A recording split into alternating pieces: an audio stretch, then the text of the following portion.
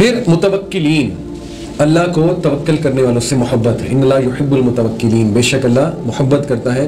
तवक्कल करने वालों से सूरह आल इमरान, आयत नंबर 159 और तवक्कल है ही ये कि जब कोई रास्ता नज़र ना आए, जब टोटल ना उम्मीदी हो जाए हर जगह से तो फिर आप बस ये कह दें कि अल्लाह तो है।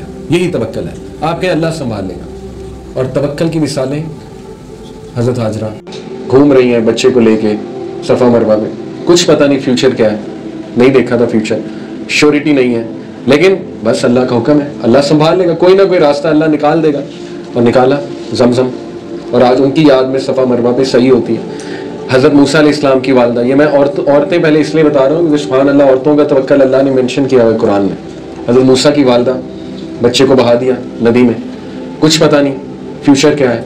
अल्लाह ने कहा कि फ़िक्र ना करो, तुम्हारी आँखें हम ठंडी करेंगे। और हुआ, मूसा इस्लाम को दूध पिलाने वाली उनकी वालदा ही थी।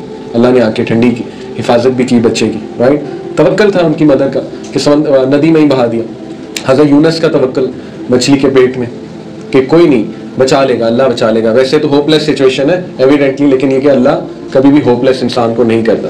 हज़रत जकरिया का तवक्ल बे औलादी थी तवक्ल करते रहे। हज़रत अयूब का तवक्ल बीमारी में तवक्ल पकड़े रखा राइट हज़रत इब्राहिम का तवक्ल आग में फेंके जा रहे हैं, जब्राइल सलाम आए, कहा, मैं आपकी क्या मदद कर सकता हूँ? कहा, आपकी कोई मदद नहीं चाहिए, अल्लाह काफ़ी है। हसबुल्ला नेमल की तो देखिए ना, वो हालाँकि अल्लाह नहीं भेजा होगा, लेकिन ये कि तोहीद इतनी पक्की कि नहीं, अल्लाह काफ़ी है मेरे लिए। बस अल्लाह संभाल लेगा। तो Quranic stories are full of तवक्ल Yusuf Islam and so forth इसलिए तवक्ल आता है ऐसी स्टोरीज पढ़ के नॉलेज हासिल करके। फिर अल्लाह सुबहान तआला किनको पसंद करता है? मुकसितीन। अलकिस्त कहते हैं जस्टिस को। कौन सा जस्टिस कि जो अपने लिए पसंद करो, वही दूसरों के लिए पसंद। ये अलकिस्त है। तो अलकिस्त जो है वो ये भी है, जैसे अल्लाह ने सूरह आई गेस सूरह मायदा की आयत है कि आए लोगों जो ईमान लाए हो, किसी की नापसंदीदगी इट्स नेचुरल कुछ लोग आपको पसंद होंगे, कुछ पसंद नहीं होंगे। लेकिन किसी की नापसंदीदगी, जिसने में भी तुम्हारे साथ ज़्यादा की हो, तुम्हें उसके साथ जस्टिस करने से ना रोके। ये अलकिस्त है, ठीक है? और ये हाईएस्ट एक्सप्रेशन ऑफ़ जस्टिस है। तो ऐसे लोगों से अल्लाह मोहब्बत करता है। फिर वो लोग जो कंसिस्टेंट हैं कैसे? अल्लाह के नबी सल्लल्लाहु अलैहि वसल्लम ने फरमाया, अल्लाह के नज़दीक सबसे बेहतरीन अमाल, महबूब अमाल कौन से हैं जो चाहे कम हो, लेकिन कंसिस्टेंट हो। कंसिस्टेंट लोग अल्लाह को पसंद है, मोहब्बत करता है अल्लाह ऐसे लोगों से। किसी एक चीज़ को पकड़ लें, किसी एक ज़िक्र को पकड़ लें, और बस उस पर कंसिस्टेंट हो जाए। तस्वीर फातमा ही पकड़ लें। तैतीस बार सवाल अल्लाह, तैतीस सवाल अलहमदिल्ला हर नमाज़ के बाद तैतीस बार अल्लाह अकबर। हज़रत अली कहते हैं कि जिस दिन से मैंने सुना प्रॉफिट वसल्लम को सिखाते, वो दिन और आज का दिन, जिस दिन वो हदीस नरेट कर रहे हैं, कहते हैं, मैंने नहीं छोड़िया, छोड़ा ये ज़िक्र. एक साहबी ने टेस्ट ले लिया, कहा, वो खैबर वाले दिन तो छोड़ा होगा, उस दिन तो आप मैदान जंग में देखे तो उस दिन भी नहीं छोड़ा। इसलिए अल्लाह का वो अमाल पसंद है, जो चाहे कम हो, लेकिन कंसिस्टेंट हो।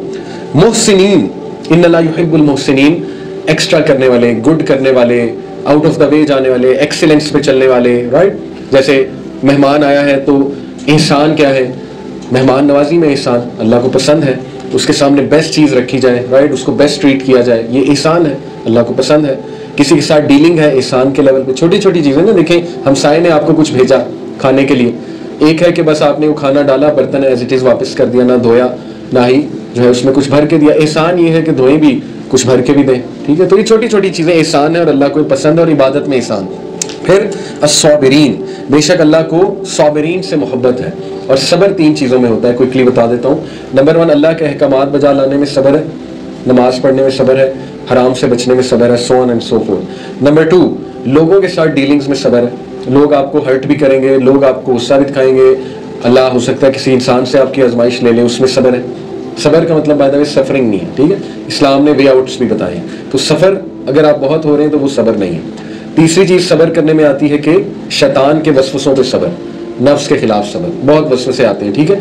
तो हर वसवसा बताना भी नहीं चाहिए, ना हर वसवसे पे पैनिक होना चाहिए, बल्कि सबर दिखाना चाहिए और वेट करना चाहिए। और फिर, बेशक अल्लाह को लोगों से मोहब्बत है जो नबी सल्लल्लाहु अलैहि वसल्लम की अतात करते कुरान में, सूरह आल इमरान में आयत नंबर बत्तीस में अल्लाह ने क्या कहा? कह दीजिए इनसे कि अगर तुम अल्लाह की मोहब्बत चाहते हो, अगर तुम चाहते हो अल्लाह तुमसे मोहब्बत करे तो फत तबीऊनी मेरी इतबा करो। अल्लाह तुमसे मोहब्बत करेगा। तो ये कुछ तरीके हैं अल्लाह की मोहब्बत अचीव करने के। क्विकली मज़ीद आपको बता देता हूँ। हमने बात की नोइंग अल्लाह। अल्लाह को जाने। कुछ बातें मैंने बताई। इला के बारे में, लफ्ज़ इला के बारे में, लफ्ज़ अल्लाह के बारे में, लफ्ज़ रब के बारे में मज़ीद रिसर्च करें। अल्लाह के नामों में रिसर्च करें, ठीक है? नंबर टू हमने बात की कि अल्लाह ने जो क्वालिटीज़ बताई हैं, वो अपने अंदर पैदा करने से। अल्लाह की मोहब्बत आप पाएँगे, जिनमें मुतवक्किलीन हैं, जिनमें तवाबीन हैं, जिनमें मुतखरीन हैं सोन एंड सो फोर्थ तीसरा ये है कि हदीस है सही हदीस के, हदीस कुदसी है सही बुखारी की के, अल्लाह कहते हैं कि मेरा बंदा मेरे करीब आता है फ़राइज़ पे अमल करके ऑब्लिगेटरी एक्शंस पे अमल करें, ठीक है, नमाज़ है उसमें। और मज़ीद करीब आता है नवाफिल अदा करके। सप्रोगेटरी जो एक्ट्स होते हैं, ठीक है? उनमें रोज़ा आ सकता है, नवाफिल आ सकते हैं। यहाँ तक कि वो मेरे इतना करीब आ जाता है, मैं उससे मोहब्बत करने लगता हूँ, उसका हाथ, उसके पैर, उसकी आँखें, ये अल्लाह सुबहान ताला कहते हैं कि मैं ये बन जाता हूँ। उससे ये मुराद नहीं कि मतलब लिटरली ये अल्लाह उसमें आ जाता है। इससे मुराद ये है कि फिर अल्लाह उसे वही सुनाता है जो सुनाना चाहता है, वही दिखाता है जो दिखाना चाहता है, वही ले जाता है जहाँ ले जाना चाहता है। फिर कंप्लीटली अल्लाह उसकी टेक केयर कर लेता है। कब? जब अल्लाह उससे मोहब्बत करता है और मोहब्बत कब आती है? फ़राइज़ और नवाफिल में आगे बढ़ के, ठीक है? फिर है having a good relationship with the Quran Quran से ताल्लुक अल्लाह की मोहब्बत पैदा करेगा आप में असलाफ कहते थे कि हमने अपने आप को, जो मुफसरीन है कुरान, वो कहते थे कि हमने अपने आप को कुरान के साथ बिज़ी किया।